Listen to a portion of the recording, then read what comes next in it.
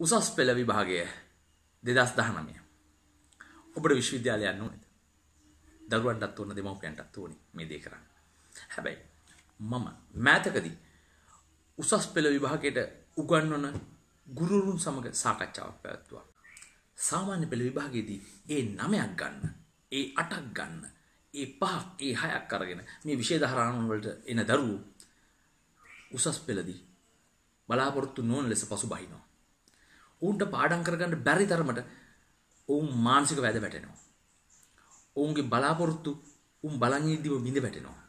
දෙමව්පියෝ කලකිරෙනවා. මේ ගැන හේතුව අපි ඔවුන් සමග සාකච්ඡා කළා. දෙමව්පියෝ දරුවෝ සාමාන්‍ය පෙළ වගේම උසස් පෙළත් ඒ මට්ටමටම කරගන්න පුළුවන් කියලා හිතනවා. මේ ගුරුවරුන් පවසන ආකාරයට මේක මිත්‍යාවක්. උසස් පෙළ විභාගය සාමාන්‍ය පෙළ විභාගය වගේ පාඩම් කරලා ඒ ක්‍රමවලට සමත් වෙන්න අපහසුයි. ඒ නමයක් ගන්න දරුවෝ සමහර විට අසාර්ථක වෙන්නේ ඒ නිසායි. යොදා ගන්න පරීක්ෂණ අනුව මම හොයා ගන්නවා මෙන්න මේ විදිහට. දරුවන්ට උසස් පෙළ විභාගයට පෙනී ඉන්න දරුවන්ට සමත් වෙන්න පුළුවන් ක්‍රමවේද මොනවද?